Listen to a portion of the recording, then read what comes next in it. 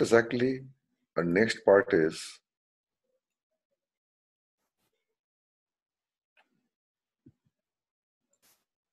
there is a controller.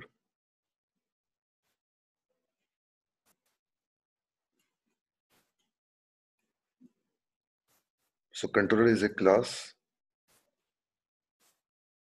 and we have the function called action.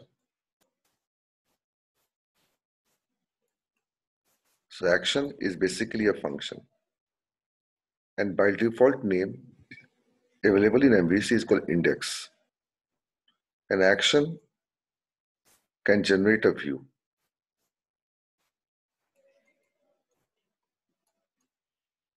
And we apply server-side programming in view is called Razor programming.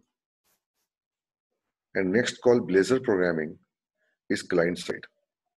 So we are lucky we are having a C sharp. So C sharp can run at the client side also by the Blazor programming. We'll discuss next session what is Blazor programming. So we apply the Razor programming is called server-side programming in your view in MVC. Now, so action can associate to view because action is basically a function as return, return, then your view. So view is a basically helper method. View is basically a helper method. An action returns by default as an action result. Action result. So action result is basically a class. Every action is returning by default in MVC as an action result. And there are several classes in a hierarchical manner as they follow inheritance principle. There are several classes are inheriting directly or indirectly uh, from action result like file result, like your uh, view result, like your partial view result. There are several classes inheriting directly or indirectly from action result. And they also follow the runtime polymorphism. And this is the best example of runtime polymorphism because action result class is just an abstract class. So this class cannot instantiate it directly.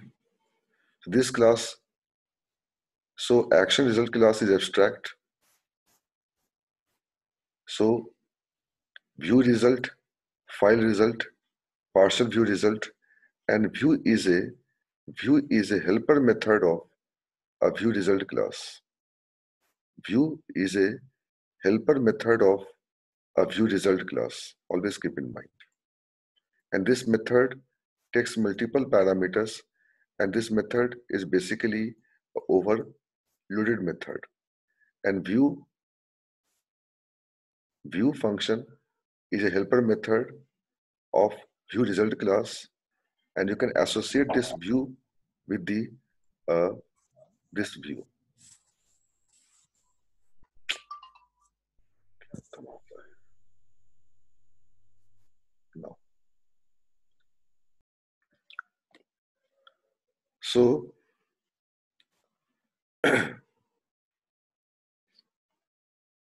so they follow at this point the covariance principle because least derived class sorry the most derived class most derived class can assign to the base class. Most derived class can assign to the base class. So covariance means assignment compatibility. Assignment compatibility most derived class can assign to the a derived class. Sorry assign to the base class. Like action result, action result, result, space obj is equal to new a view result. I'm writing short a view result. So most derived class can assign to the base class. Then you can have the assignment compatibility. So the working of action follow covariance principle and there is assignment compatibility due to you're assigning the most derived class to the base class. That's why the actual implementation done by the concrete class of the action result. So the view is generated by the view result, the partial view result, the file result, or JSON result. But action result is basically abstract and abstract class indeed intended to be extended, not to be instantiated. So that's why the function of action, the function called action returns as a returns as action result and return attached with the any derived class of this a base class. So this is follow the covariance principle uh, known as assignment compatibility between the most derived class to the base class. Now, so come to next part.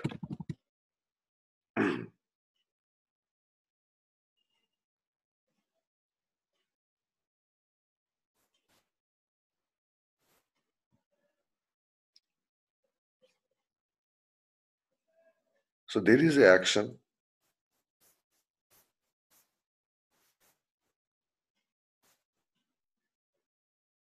and there is a view.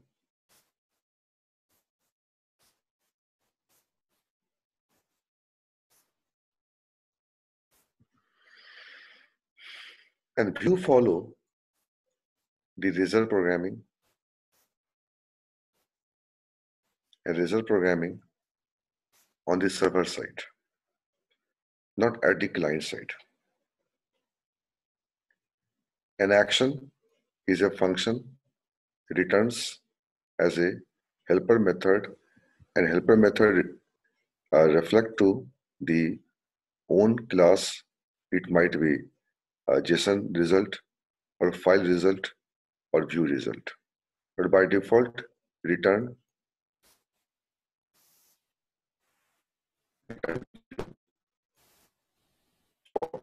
the view result. Now,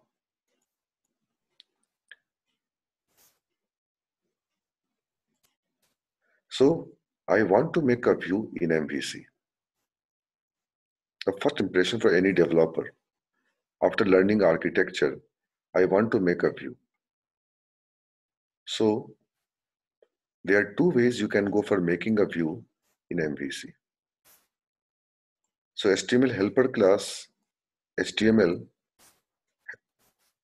HTML helper class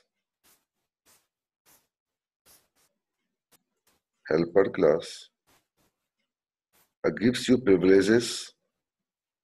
HTML helper class uh, gives you privileges. There are two ways you can go for making a view in MVC. One by the strongly typed view or second a simple HTML view. So HTML helper class is responsible to make a, a UI in MVC. As we do same thing in Angular by template driven approach or model driven approach. So if you want to go for a strongly type, you have to make a view against to your model. Is a strongly type. Or you can make a simple view without having any model. But a strong recommendation in a project level is you always apply the strongly type for making a view. So in this case, you have to go for model. So model will have, model folder will have the class called employee.cs. I can define the properties here and we can attach this properties with the corresponding text box of this presentation layer using lambda expression. So for the binding, we apply the lambda expression for the properties. So HTML helper is HTML helper is basically a class and there are two ways we can go for making a view. One by the simple HTML helper or second call strongly typed HTML helper. Now, suppose I want to make a employee form. I want to make an employee form in MVC.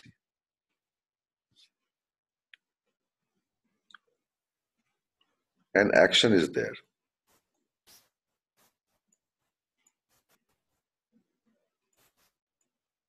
Action is a part of controller. Don't think for syntax how we can make. It's a class today for concepts. Next class tomorrow, complete practical implementation, no theory. So, user request to control plus action and we get a resultant called view. And view extension is .cs HTML. And we apply the class in this file called HTML helper to make a UI. I think technically everyone. Now action, whenever user requests to controller of MVC, so it gives me view. So uh, we have the verbs called HTTP get. HTTP get. If function attached with HTTP get, it gives you a view, right? And when you submit, when you submit, I'm having a UI at this point. So if you submit, you want to call the post. So every submit is basically a post. So at this point, I want to go for post the operation. So if you click on submit, I want to post. I should have one more function, one more action. So this will be a HTTP post. This will be a HTTP post.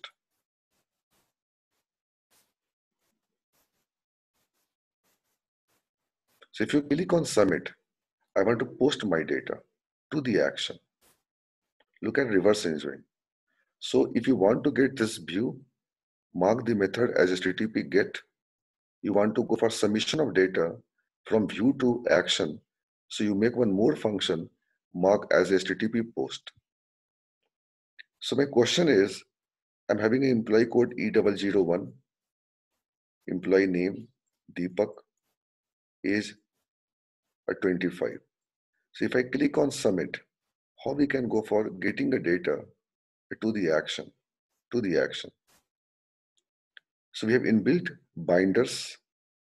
We have inbuilt binders for binder for getting the data from view to the action. Then we can pass to the uh, business logic layer, then to data access layer for submission of data in database table. So HTML helper says, are you using a simple HTML programming? HTML helper says, are you using a simple HTML programming or you're using a, a strongly type?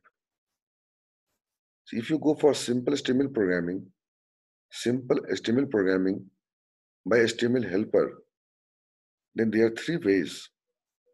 And there are three ways we can go for retrieving the data from view to action as inbuilt binders. Inbuilt binder. One is called form collection. One is called forms collection. Right.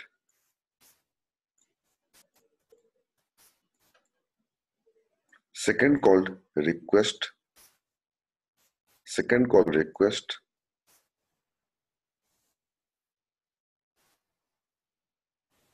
And third is your parameter. These are inbuilt binder. These are inbuilt binder for retrieving a data from view and providing to action. so form collection, request and parameter. There are three ways. You can go for a posting a data from view from view uh, to action. What are the differences in between? Wait for tomorrow, next session. Now, I don't want to go for applying the uh, simple HTML helper way method for uh, posting a data from a view to action by any other by any ways, either form collection or by request or parameter. I want to go for strongly type. So if you want to go for strongly type, you make a model. You make a model. If you don't want to go for the uh, simple HTML helper, to go for model. And check your database table. Check your database table. Check your number of columns in a table and to define the properties. To define the properties. So column represent to properties or properties represent to column in a table of database. Define your properties and bind your properties.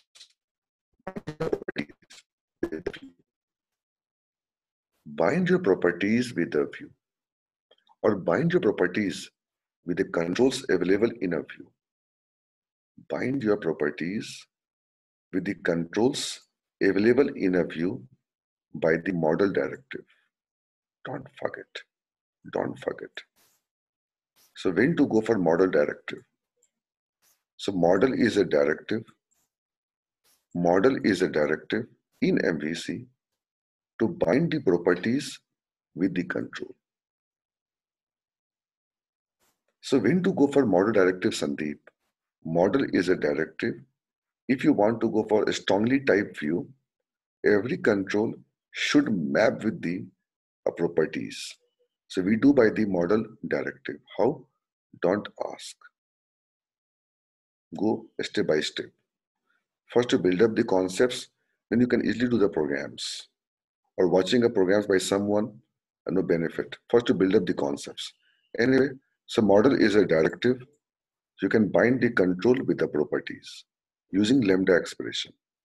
So model is a directive to bind the control employee code with the properties with the properties using lambda expression. Now,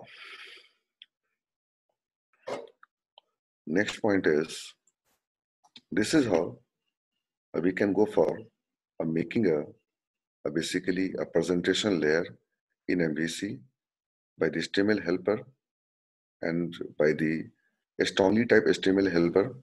So if you want to go for strongly typed HTML helper, so your your model should bind with the view uh, using a model directive and we apply the lambda expression for binding.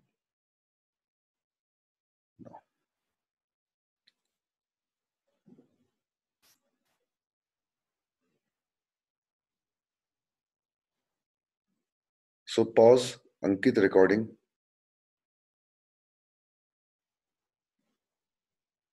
Okay, sir.